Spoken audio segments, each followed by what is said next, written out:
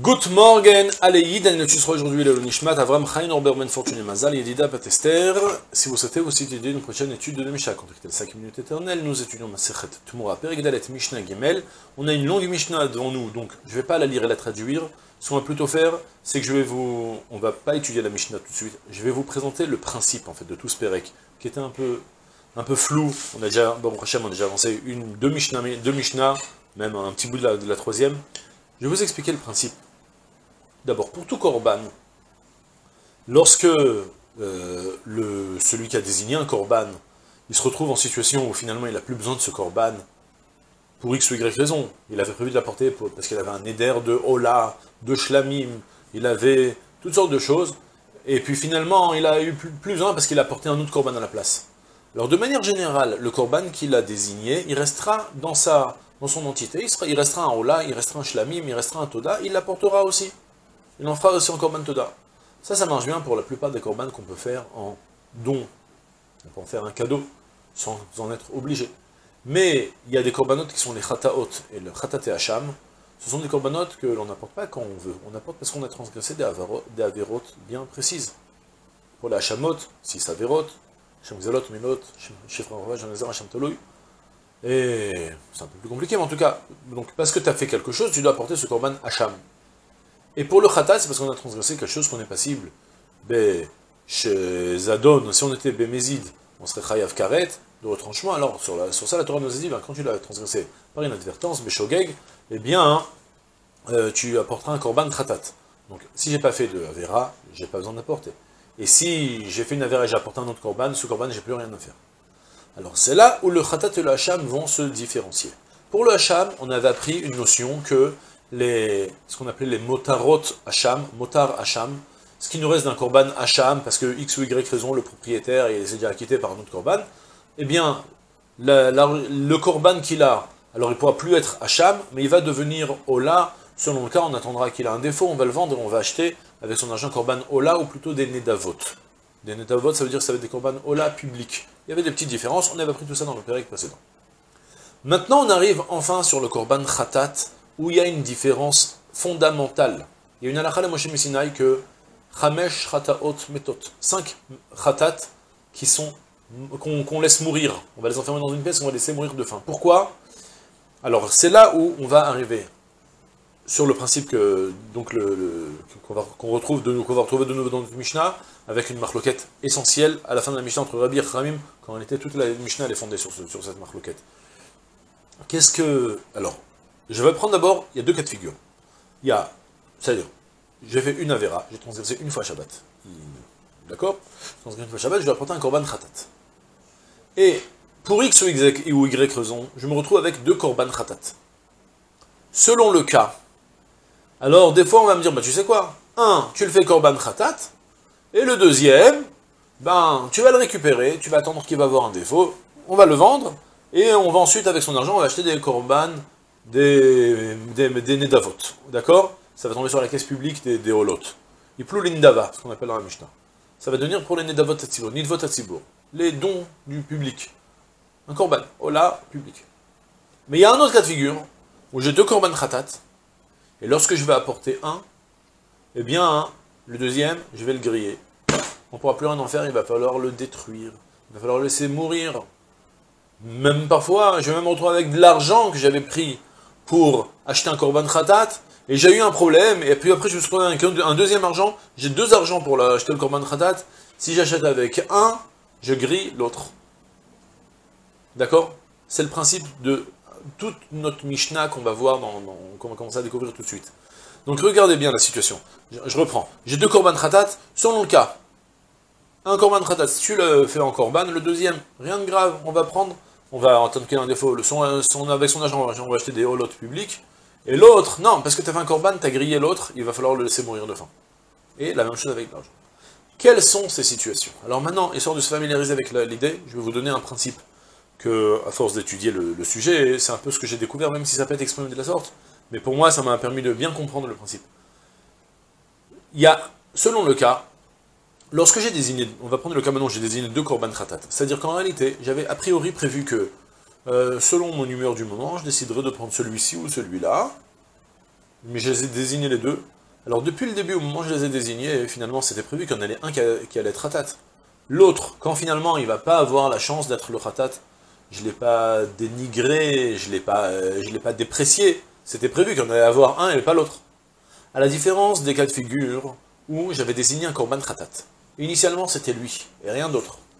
Et puis finalement, il y a eu un problème, par exemple, je l'ai perdu, entre-temps j'ai désigné un autre korban, et, et même, on va prendre un cas même plus violent, j'ai déjà apporté l'autre korban khatat.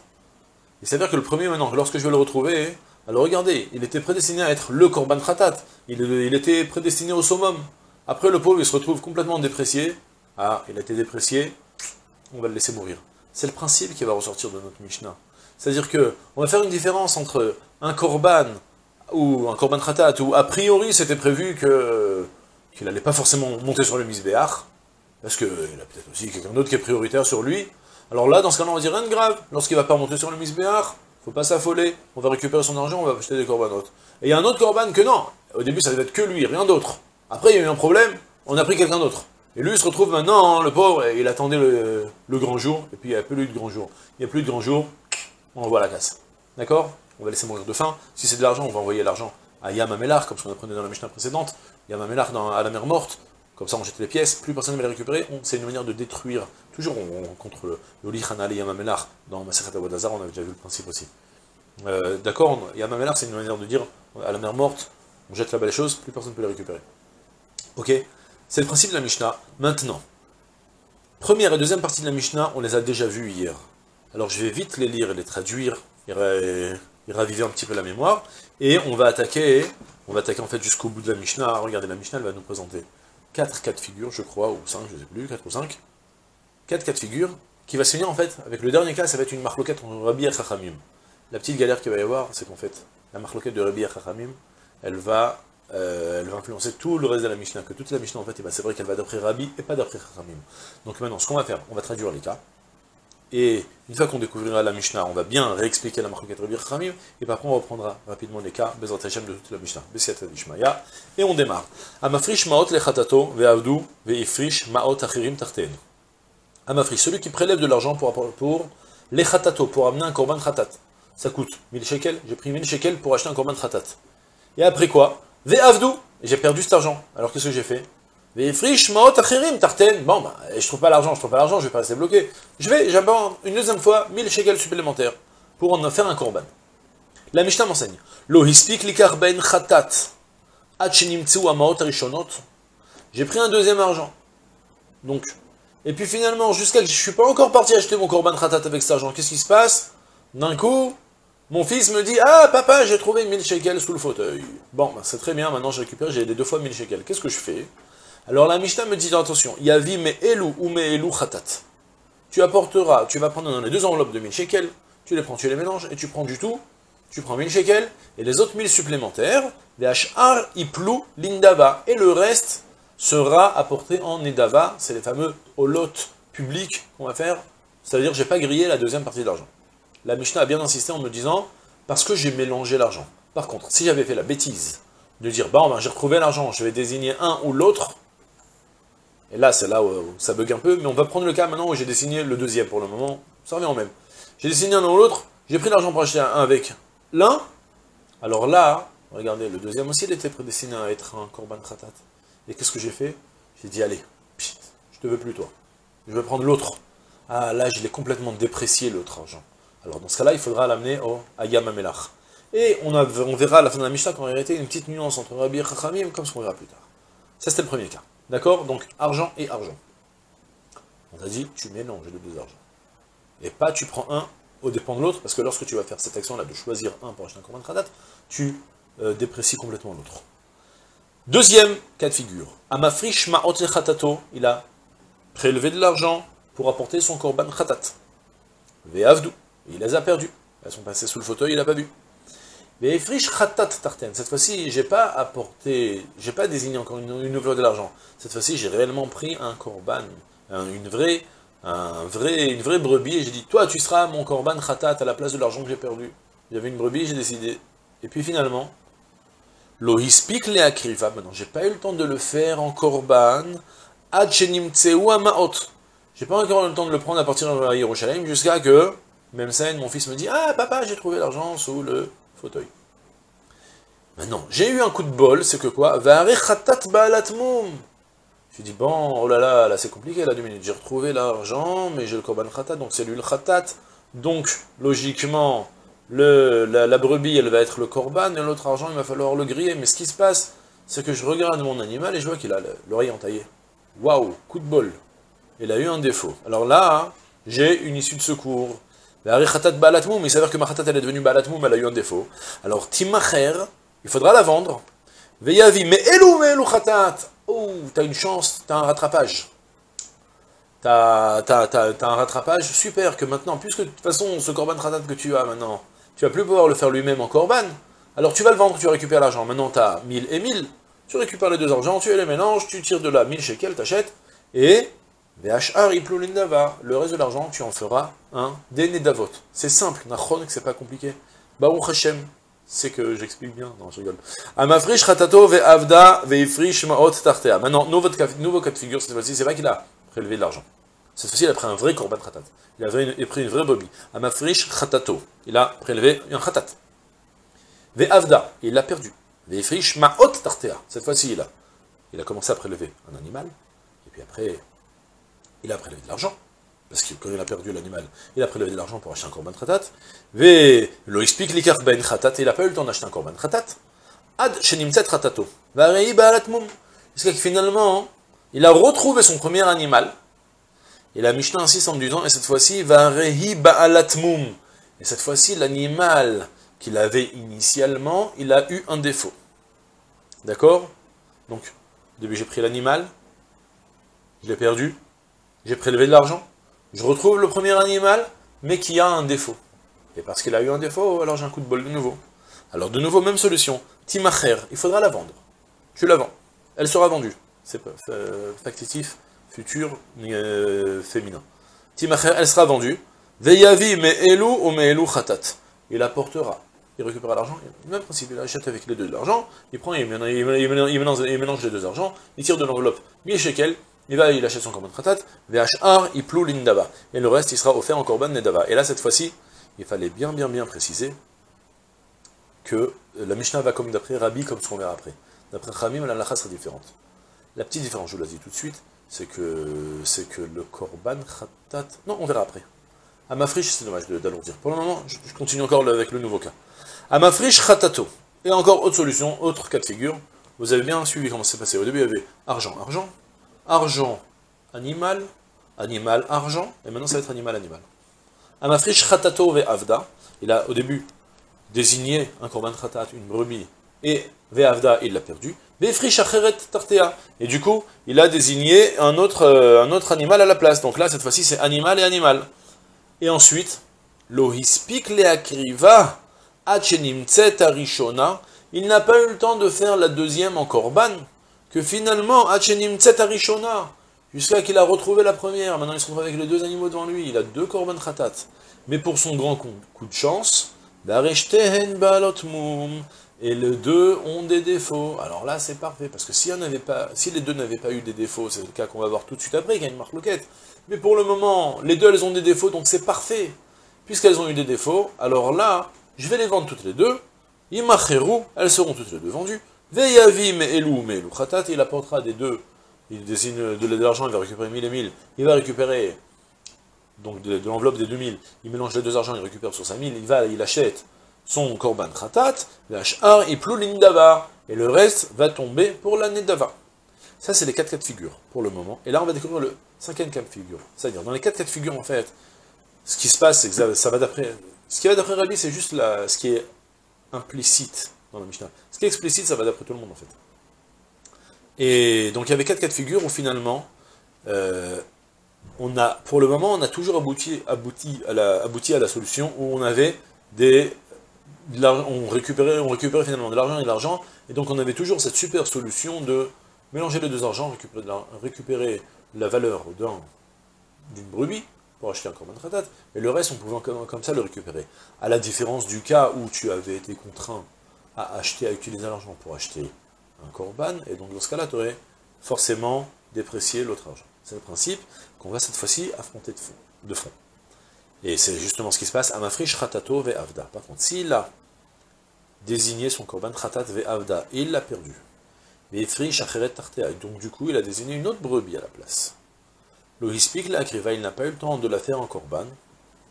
Arishona. Jusqu'à que finalement il a retrouvé la première. Et là, cette fois-ci, les deux, elles sont aptes à être des korban. Et là, entre les deux, mon cœur balance. Les deux sont aptes à être korban. Mais dès que j'en prendre une, alors je vais griller l'autre. Achat mehen tikrav. L'une d'elles sera apportée en korban khatat. Veashniya tamut. Et la deuxième, elle devra mourir. Il n'y aura pas de solution. Divrei Rebi. Tel est l'avis de Rebi. Et là, Chachamim vont discuter. Et attention, euh, on va voir qu'il y a des mots, mais en fait, c'est aucun rapport avec ce qu'il a écrit. Parce que la base, elle est vadaï comme Rabbi. Il y aura juste des petites nuances où il y aura un cas de figure où Chachamim ne seront pas d'accord. Et là, pour le moment, je traduis. Non, je suis pas d'accord avec toi. En khatat meta el me achar abealim. Le korban khatat ne sera, il faudra, te, c'est faux tout ce que tu dis, toi, Rabbi que dans un cas de figure, tu as, euh, as, repoussé l'autre, alors que tu n'avais pas fait la première korban, c'est faux, ça se passe pas comme ça.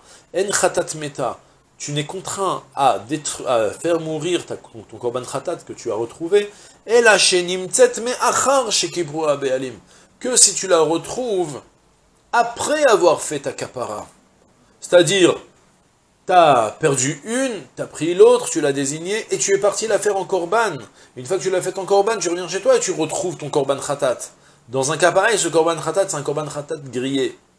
Il est grillé, il était apte à être au summum, et là, il, a été rabaissé complètement. Mais, par contre, si tu l'as retrouvé avant que tu offres la première en korban, alors non. Non quoi? Alors, c'est là où on va expliquer. Apparemment non, bien évidemment, tu ne seras pas obligé de griller les deux. Mais on va prendre que dans la plupart des cas, tu vas quand même griller, griller l'une des deux. Ouais, on va expliquer tout de suite. Et idem aussi, juste, je complète la phrase, autant que le korban khatat, il ne meurt que si tu as déjà fait ta kapara, idem avec les maot, avec l'argent.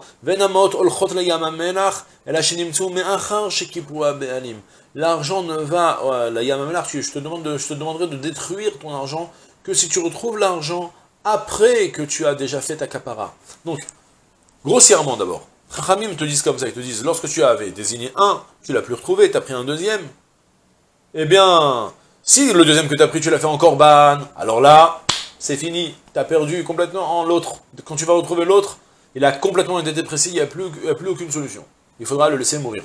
Mais si toutefois, tu vas désigner un nouvel argent ou un nouvel animal, et puis après tu vas retrouver le premier, eh bien, il n'y a rien de fatal. On va encore trouver une solution. On a une solution. Maintenant, quelle solution qu'on a?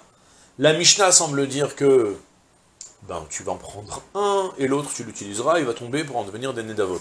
Mais c'est faux, c'est pas aussi évident que ça. Le Barthénora, il rallonge beaucoup pour nous expliquer que non. Une chose de sûre, d'abord, premièrement, regardez le principe, alors c'est pour ça que je reviens maintenant sur ce que je vous avais introduit dans le début de la Mishnah. Le principe, il est la dépréciation. Il y avait quelque chose qui était censé être le top, et d'un coup, il se retrouve, il n'a plus rien à faire. Alors là, on va plus, il va plus être recyclé dans autre chose, on va le mettre au cimetière. On va le faire mourir de faim. D'accord? Mais quelque chose que depuis le début, il était prévu que c'est une roue de secours, bon ben c'est une roue de secours, si finalement il n'a pas eu besoin de secourir, eh ben ça restera une roue, on en fera autre chose, d'accord? Donc selon ce principe, en fait, ça se passe comme ça. Je vous dis directement, je vous vends la mèche. En deux temps.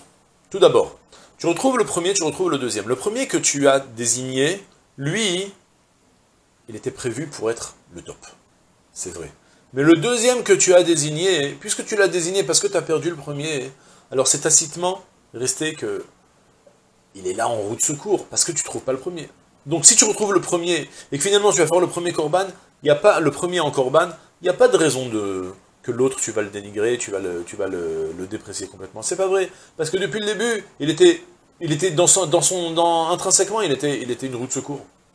Donc, tu as retrouvé le premier, c'est pas grave.